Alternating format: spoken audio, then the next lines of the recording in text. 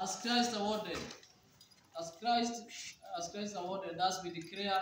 thus we assert, thus we preach Christ our true God, and honor his saints in words, lightings in those in sacrifices in churches, in holy icons, on the one hand worshiping and reverencing Christ as God and Lord, and on the other honoring them as true servants of the same Lord of all and honoring them the proper meditation. This is the faith of this is the faith of the Orthodox, this is the faith which has established the universe. Furthermore, to this messenger of piety, with brotherly and fatherly love and reverence in glory and honor piety, for which they both we praise and cry out all the defenders of pious kings, most holy patriarchs, bishops, teachers, martyrs,